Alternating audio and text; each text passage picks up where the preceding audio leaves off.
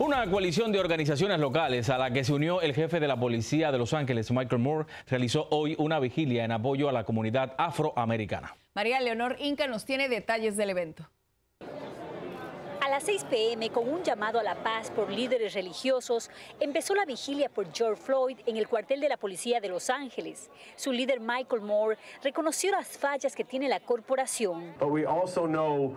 Pero también sabemos que tenemos muchos cambios que hacer por la injusticia cometida este hombre y hemos tenido otras injusticias cometidas por miembros de nuestra organización. Y mientras las autoridades de la policía hablaban de este lado dando condolencias por la muerte de George Floyd, desde otro lado de la estación de policía aquí en Los Ángeles, los manifestantes de manera pacífica pero energética continuaban pidiendo justicia por este caso. Preparation, they should have been trained for that. They're not prepared.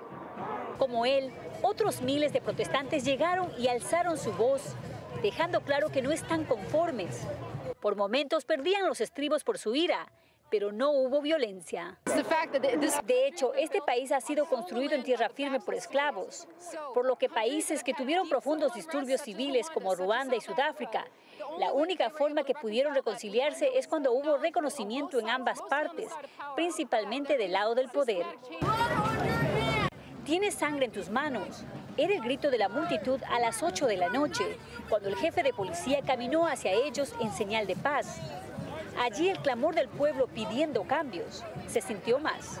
Por otro lado, este ex detective de la policía dijo que el anuncio del alcalde Garcetti de reducir el presupuesto de la corporación no es la solución. Uh, programas que quizás existen para combatir bandillas. Reportando desde Los Ángeles, María Leonor Inca, Noticias 62.